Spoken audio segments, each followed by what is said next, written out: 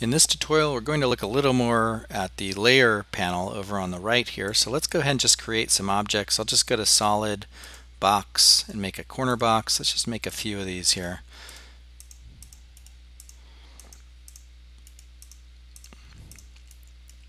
Okay, so the layer menu is really nice. Um, it's a good way to organize objects and, uh, and um, allow you to turn on and off certain sets of objects. So to move an object, right now I just created all of these on the default layer.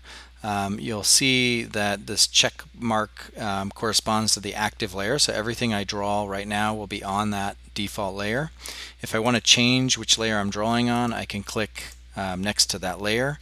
So for example, if I create another box, um, on layer 3 here uh, it will be a different color and that color will correspond to the color next to the layer.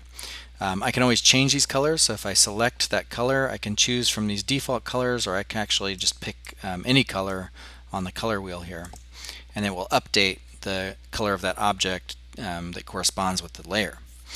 Um, I can also change layer names. So if I click on a layer name, I can change this to, let's say, green boxes. I can then um, select another box and I can right click on that layer and say uh, change object layer and it will move that object onto the layer that's currently selected. You can, if you hold down control um, or sorry alt or shift, if you hold down shift you can select multiple objects. If you hold down um, then select control and left click you can actually deselect objects. So I'm going to select these two objects and I'm going to right click on layer 2 and I'm going to say change object layer.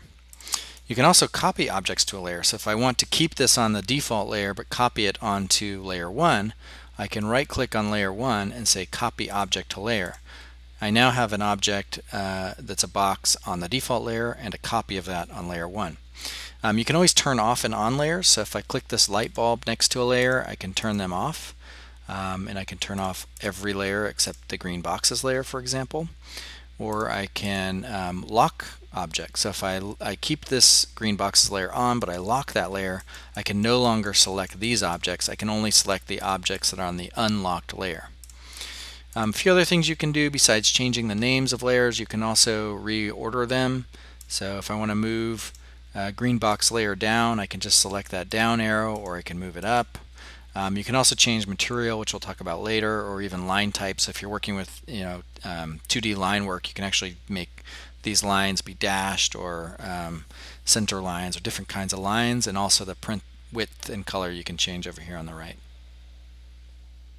Uh, finally, the last thing you can do is make sublayers. So right now these are um, all the um, top layers, but if I click this button here, it'll make a sublayer.